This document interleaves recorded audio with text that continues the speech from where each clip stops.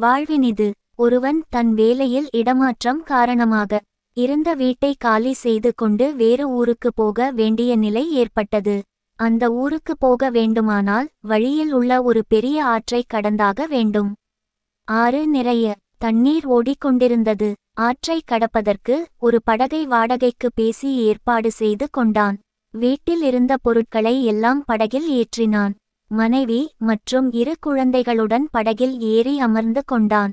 ஆற்றல் சிறிது தூரம் சென்றவுடன் படகு ஆடத் தொடங்கியது. படகில் அளவுக்கு அதிகமான பாரத்தை ஏற்றியதன் காரணமாக படகு மெல்ல மெல்ல ஆற்றில் அமிழத் தொடங்கியது. ஆற்று நீர் கொஞ்சம் கொஞ்சமாக படகின் உள்ளே வரத் தொடங்கியது.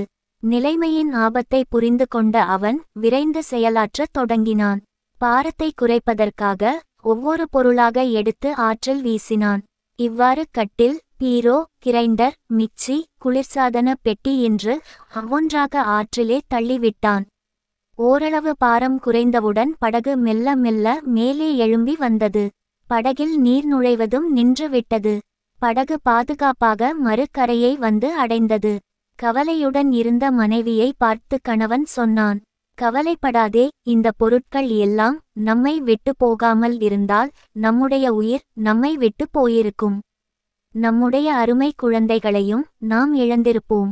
நம்மை விட்டு போன இப்பொருட்களை எல்லாம் நாம் திரும்ப பெற முடியும். ஆகையால் நீ கவலைப்படாதே என்று ஆறுதல் கூறினான். அவன் மனைவி கண்களில் ஆனந்த கண்ணீரோடு அதை ஆமோதித்தாள்.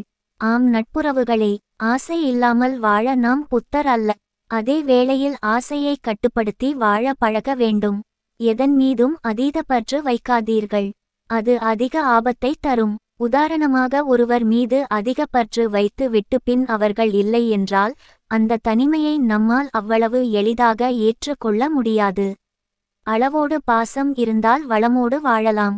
அதனையே வள்ளுவர் தம் குரலில் இப்படி சொல்கிறார். யாதனின் யாதனின் நீங்கியான். நோதல். அதனின் அதனின் இளன். ஒருவன் பல வகையான பற்றுகளில் எந்த ஒன்றை விட்டுவிட்டாலும் குறிப்பிட்ட அந்த பற்று காரணமாக வரும் துன்பம் அவனை அணுகுவது இல்லை.